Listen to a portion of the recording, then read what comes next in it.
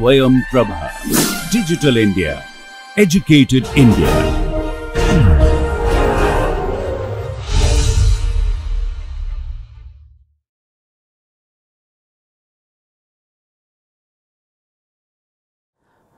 welcome back. So, uh, let us let us uh, rejoin uh, of our our discussion of national income accounting and how we have to be careful okay when we are doing that national income accounting of an economy okay so we have defined what is gdp and uh, every word when we are defining that gdp how every word has an important right so we have discussed valuation say suppose say i am i am producing some uh, say in my in my I have a stitching machine or stitching factory, right, stitching workshop. Okay. So, what I am doing? I am purchasing cloth from the market and using those cloth, I am, I am uh, transforming those cloths into different specific uh, pieces to produce say shirts, maybe kurtas and all, right. But uh, to run my stitching machine, right, I am hiring some, or I am, I am utilizing some uh, powers okay or i am and and uh, beyond that powers no i am i am hiring certain uh, um, expert uh, workers who know how to run or who know how to make garments using clothes right? So i have to pay them right? So whatever money i am paying to those laborers whom i am hiring whatever amount of money i am spending to purchase electricity i am hiring this room from the owner of this room right? Where I am establishing my stitching machines right. So, I have to pay some rent to that that owner of this room right.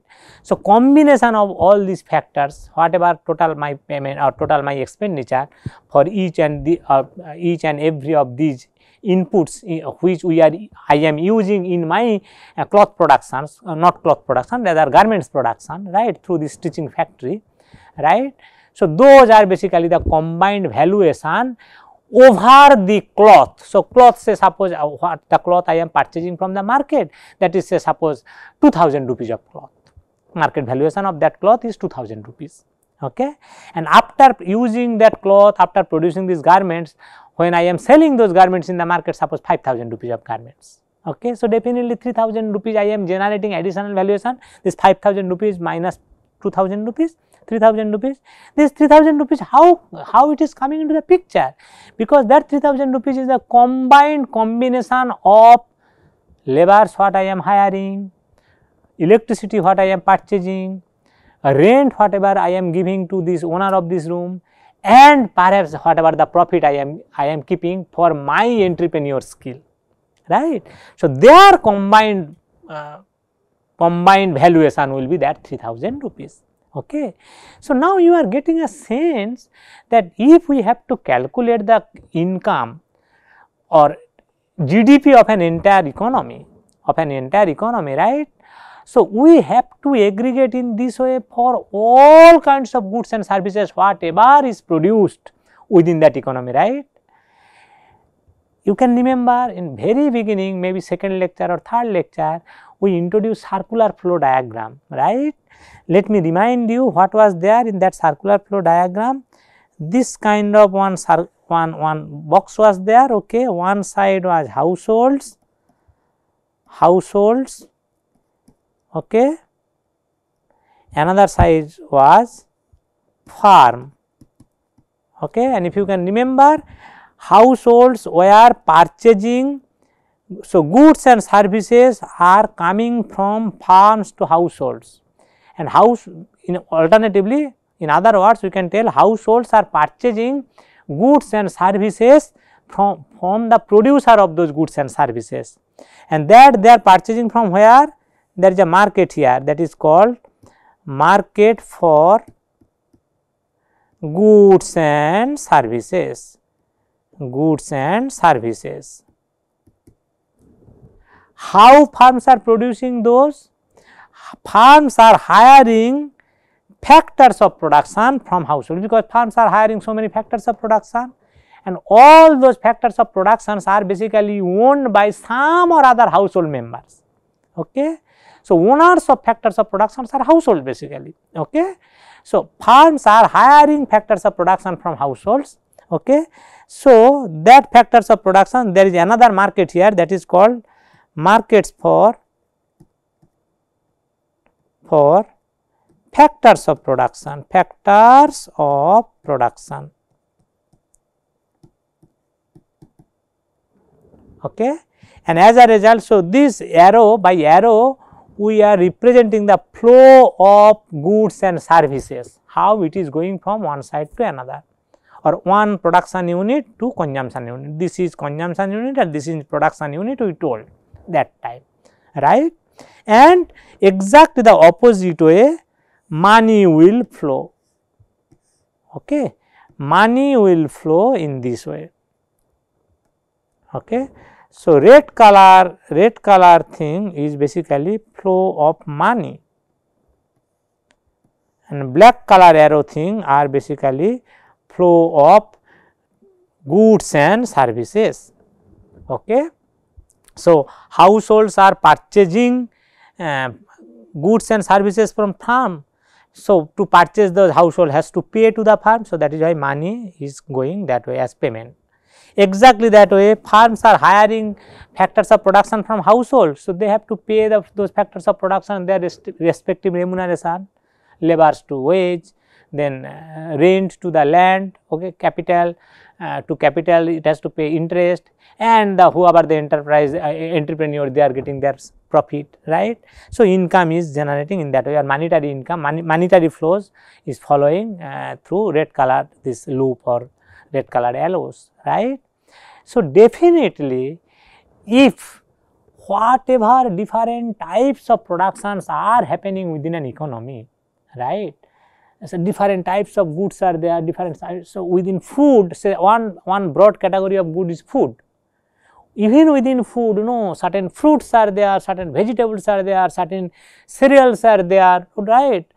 So so many different types of foods are there. Clothes so many different types of clothes are there and so on right. So, each and every of those productions if we can think of this kind of overall loop kind of thing one side of that production activity some farm is there or some farms are there another side some households are there and if we can capture those things the entire economy also we can capture through this this diagram circular flow diagram. It is an economy wide activity how it is going on. Okay. And in that way if we can club all the goods and services production, whatever firms are involved into that goods and services production, all those firms are here.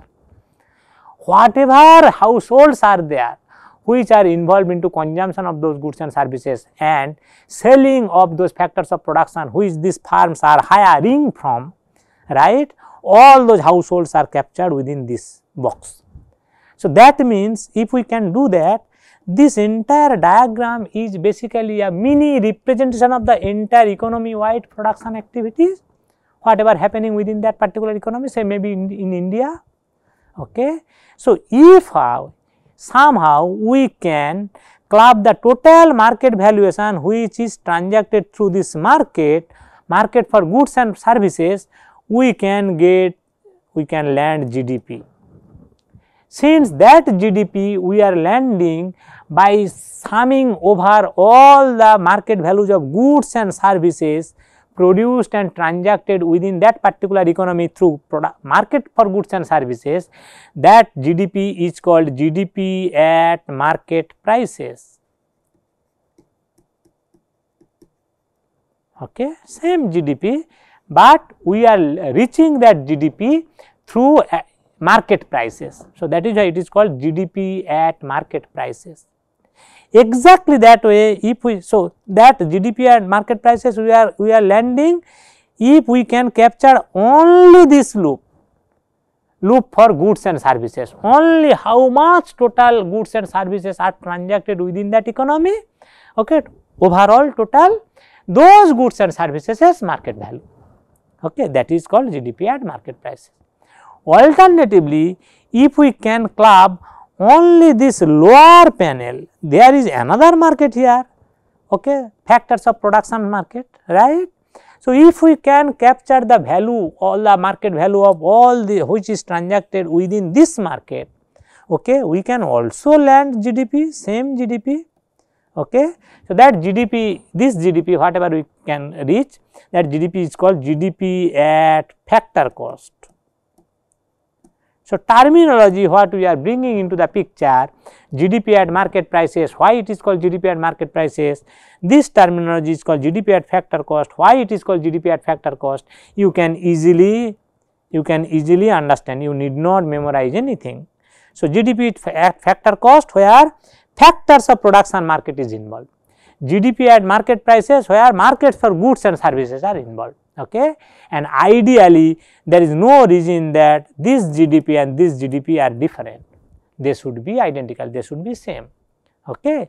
But in real life in any economy if you calculate these two either through this loop or through this loop you will usually land two different GDP figures which ideally should not be there so, those two difference uh, two different or difference between these two figures what we can observe in real life if we observe that this value and this value is exactly same fine well and good.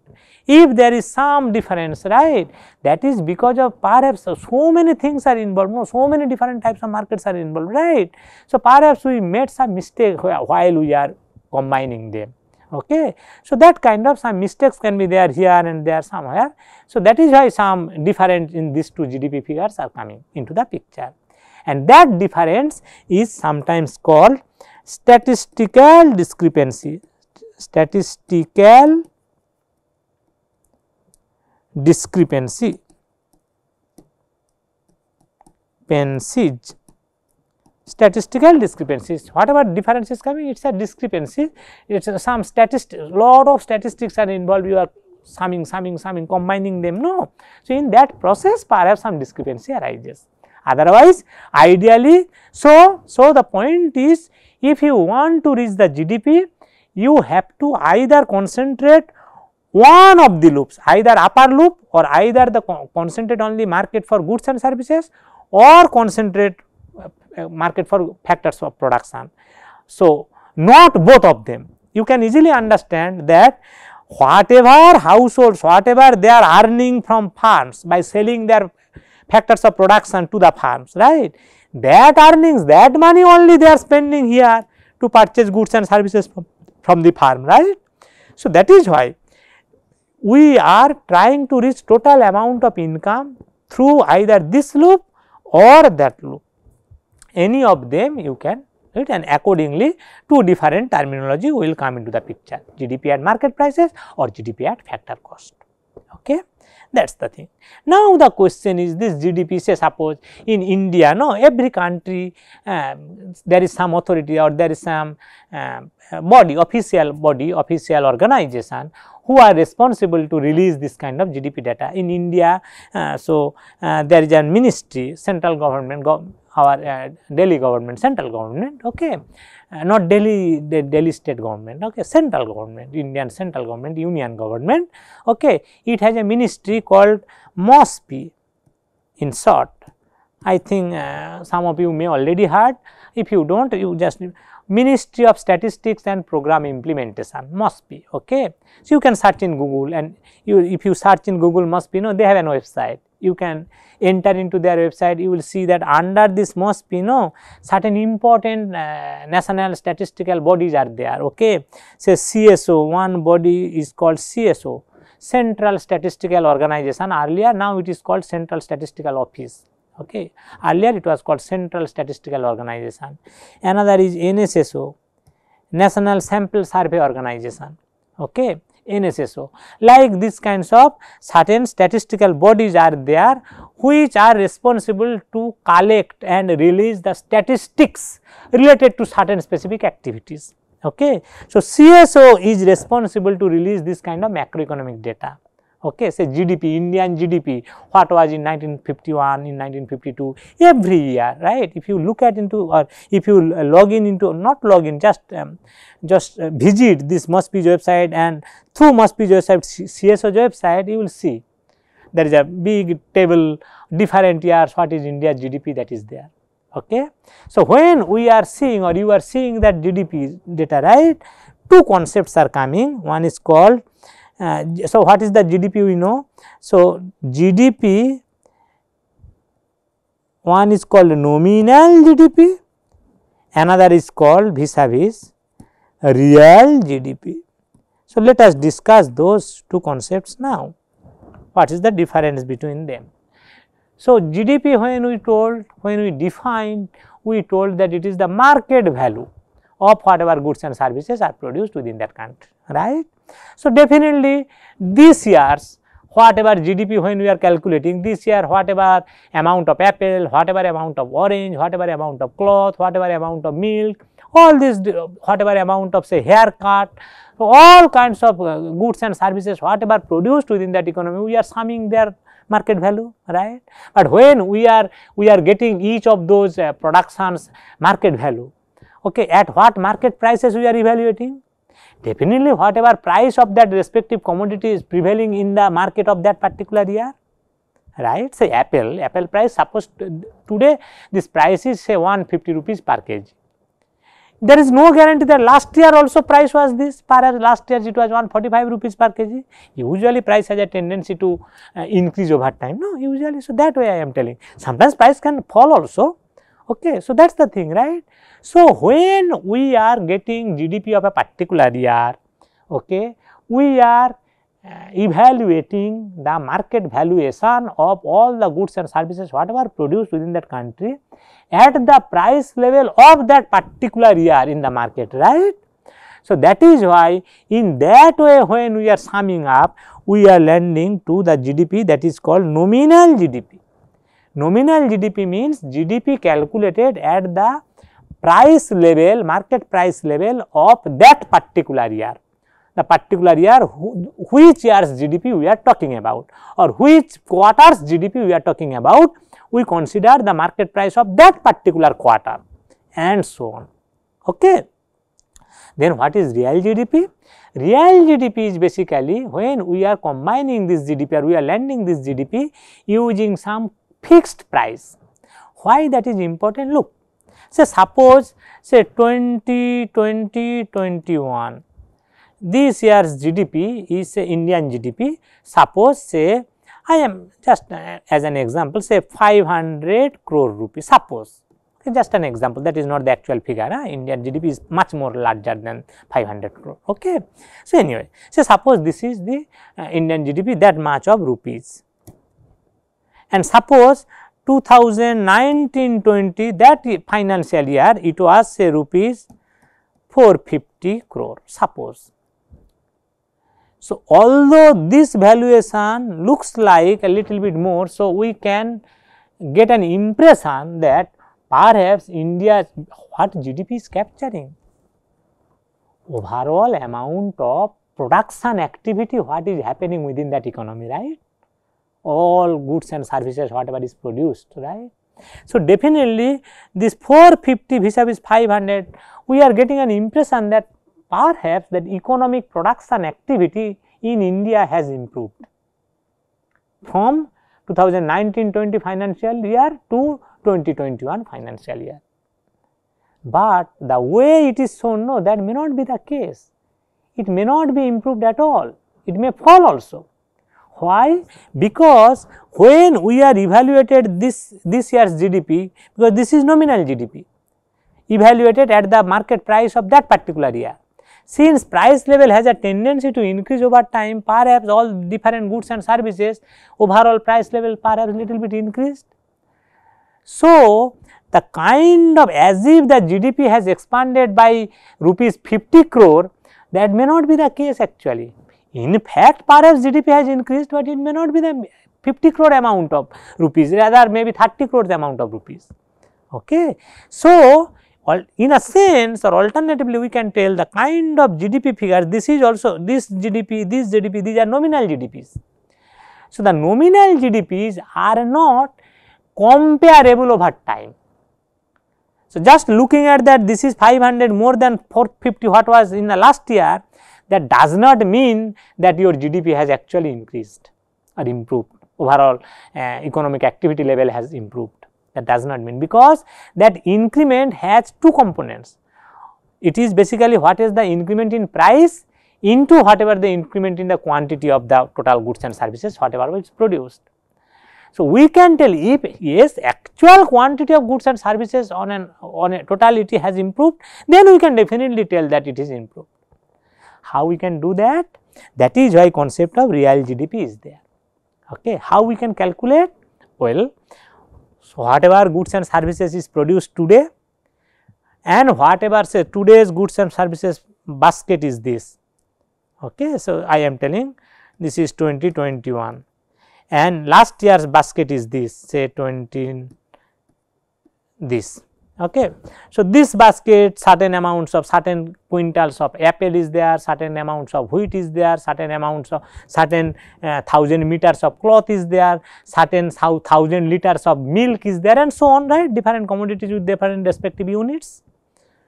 All those are within this basket and similarly other year earlier year whatever was those produ production all those are within this basket. Now, suppose I am evaluating this entire basket whatever its market valuation at considering the market price of this year of all those products.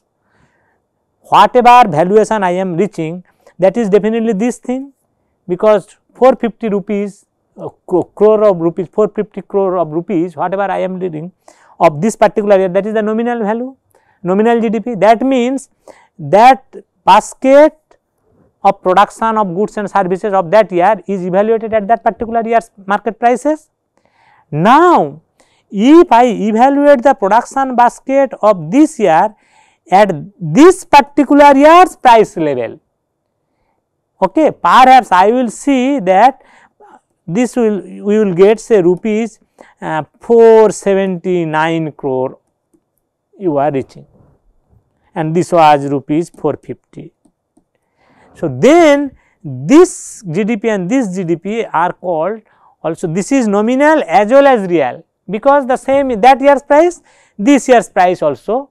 Uh, this year's uh, basket also we are evaluating using that year's price. So, I can compare that this rupees for 50 crore vis-a-vis crore of course crore is there. Vis-a-vis this rupees 479 crore these two figures are comparable because whatever amount of rupees you are lending those are by after the evaluation of actual production of goods and services at the same price level this year's price level.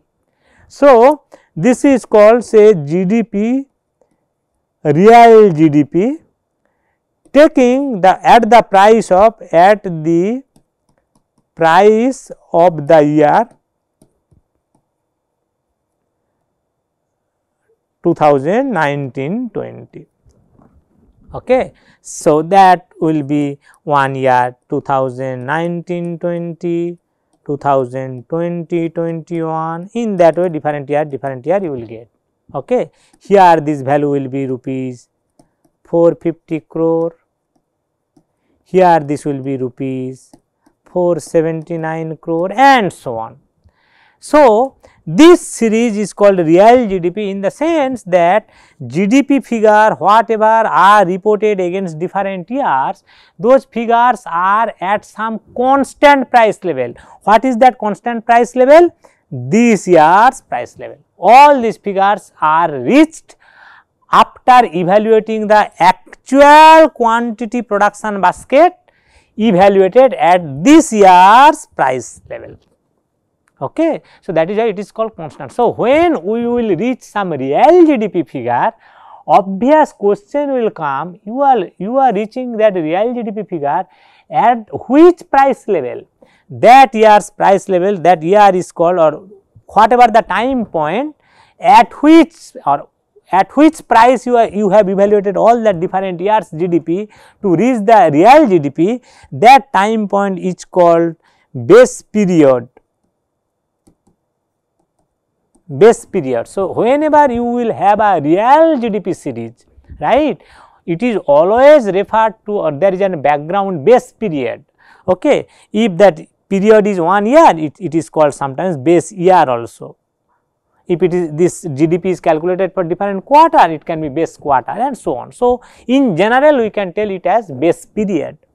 Exactly same thing you can do, right. This is the real production of goods and services that basket you can evaluate that basket at the this year's price also. So, whatever price level of different goods and services, whatever is produced today, whatever is their respective prices in today's market, I am evaluating at that price to reach the overall GDP figure. So, for 2020-21 I will get 500 crore because this was the nominal GDP at this year's 2020-21 price level. Taking this year's price level, if we evaluate last year's consumption uh, quantity production basket, right, we will also reach that will also give a real GDP. But in that case, we will get another series of real GDP. But that case, base year is 2021. This was the base. So, usually this, this which is the period whose price level you are considering to evaluate all different years or different periods GDP, that period is called base period and as a result you will get a series of real GDP. Why we are doing this real GDP? Because these real GDP figures are true sense comparable. The value, amount of monetary units what you are reaching that actually reflect that yes, yes, the amount of production activities or economic activities within your country has expanded. This particular case, it is telling that yes, yes, it is in fact because last year real GDP was 450 uh, crore rupees, this year real GDP is 479 crore rupees. So, little bit increased, right, 29 crore rupees uh, of GDP has increased. So, that is the reflection of because whatever incre increment is increment in price co contribution may be there which was there in this 500 crore rupees that increment in or uh, due to or effect of increase in price level that we have diluted now. We have removed that. We have evaluated in the same year's price level. That is why this is the real change and this this real gdp series is a good indicator to to get uh, get an overall economic activity level within an economy, within a society, within an entire economy country for a particular time time span, maybe year or maybe um, quarter and so on right. So, the, the, first question another question can come to your mind. So, we are telling MOSPI, we are telling CSO, CSO is the uh, responsible agency in India to release this kind of data. No, if you visit their website, right, you can simply google no and you can you can see their website and you can visit. You will see that side by side two gdp figures are there. This is the real gdp series this is the nominal gdp series. So when nominal gdp series you can understand that every year's gdp is reached uh, evaluating that year's uh, production basket at the price level of that year's market uh, market price level itself right? When no, GDP, real gdp you are reaching side by side real GDP figures are there, it is always written that that real GDP figures you are attaining or they are attaining, they are reaching taking which as the base period.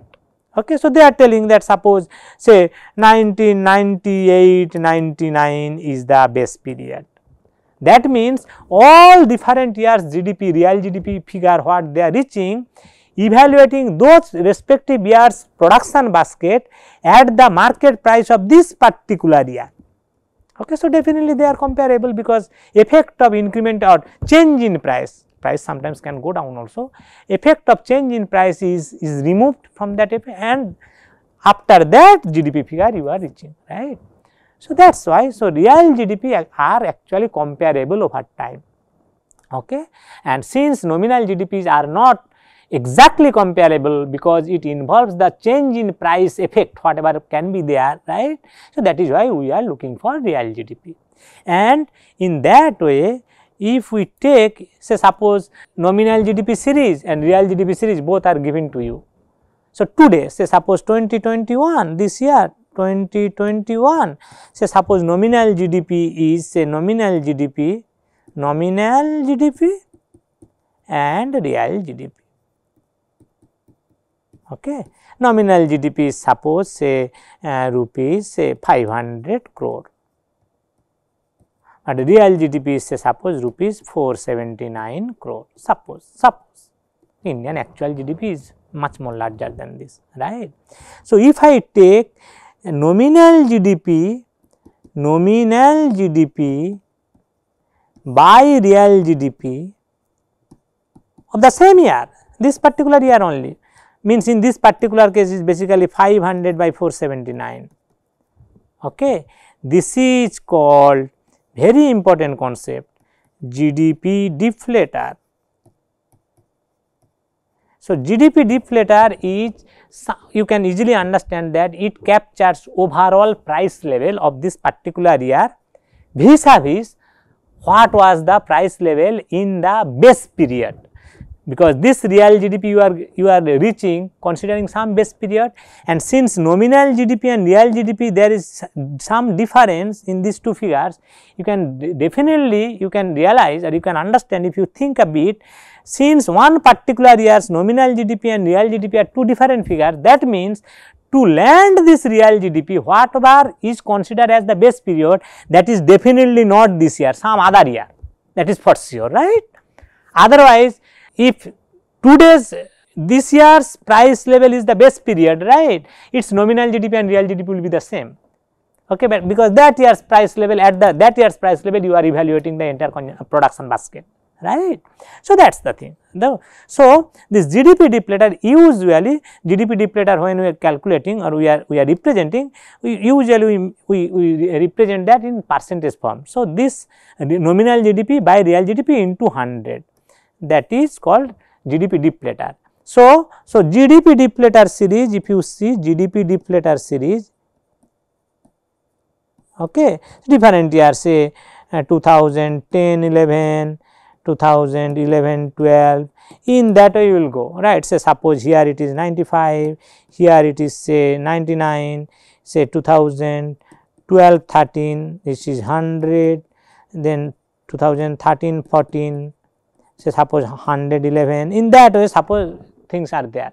So, these figures real GDP deflator series if you see in this way no? Wherever is the 100 okay? That is the base period to reach the real GDP all all these years. Okay? And all these different years are so that is the base period in the which sense? Look at here.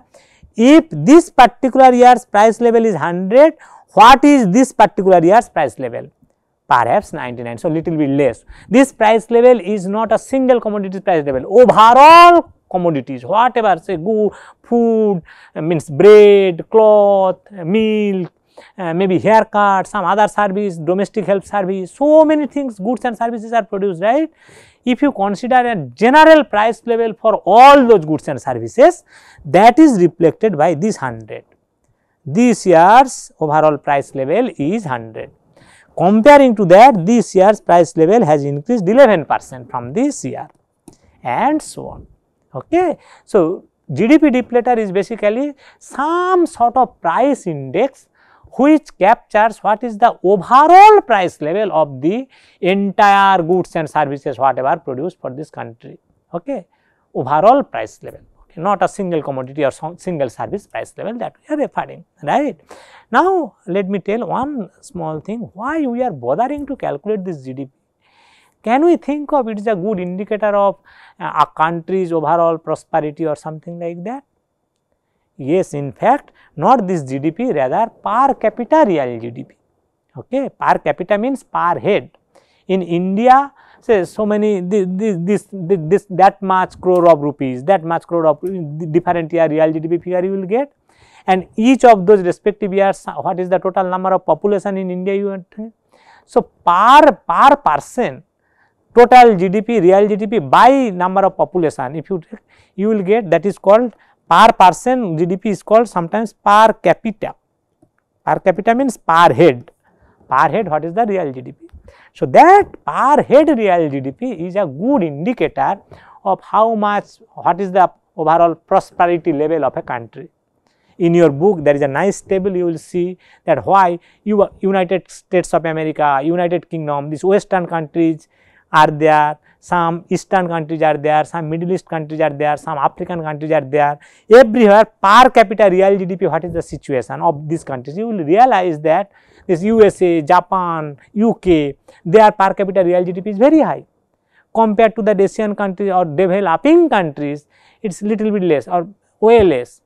Some randomly chosen certain African countries is way below Okay. So, those are reflecting that what is the standard of living. You can remember that in the very first uh, 10 principle when we, we have discussed one principle was there a country's overall standard of living depends on its ability to produce goods and services. And since goods and services whatever a country is producing that is captured by GDP right. So, that is why we are telling it is a good indicator of uh, prosperity of a country or what is the standard of living of a country or uh, an representative individual is enjoying what kind of standard of living that is reflected by per capita real GDP of that country.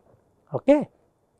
So, that is the thing yes uh, some debate was there why we should bother because when you are calculating GDP no that will not capture the what is the health indicator or what, what is the status of health of that particular country or that country's children what kind of level of education they are getting right that is not captured there.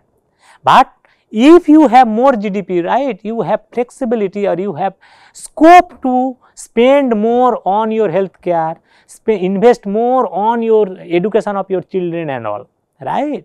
So, although GDP directly do not capture does not capture that uh, health expenditure or status of a healthy life you representative person or representative uh, people are or one representative uh, individual of that country is enjoying what kind of educational attainment they are getting right? Although it directly does not capture that but if you have more GDP, you, you, you have the opportunity to spend more towards these things also to improve your thing, uh, your, your overall standard of living as well or these kinds of qualitative things as well to improve those things, right.